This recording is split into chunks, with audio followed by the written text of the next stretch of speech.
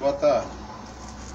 Gente, vou, dessa vez eu tô aqui para mostrar o Coyote.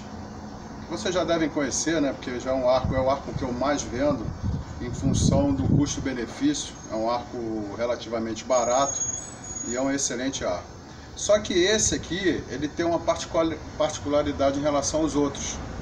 Que ele, eu dei assim uma, uma um formato diferente na empunhadura de uma forma que ele fica mais confortável, ele está mais arredondado aqui, mais grosso aqui embaixo e mais arredondado. Ele é para você colocar a mão, fica mais confortável.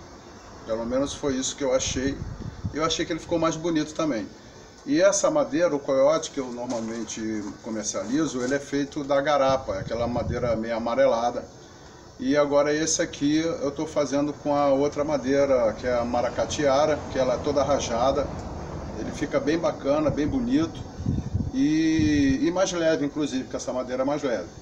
Eu vou dar uns tiros aqui, como sempre, para mostrar aqui o desempenho do ar.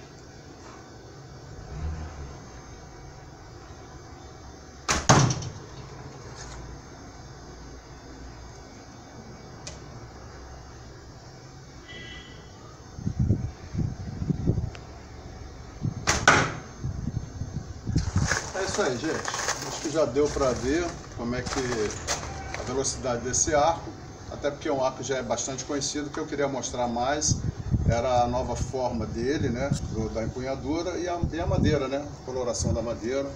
Eu acho que ficou bem bonito. Obrigado, até o próximo vídeo.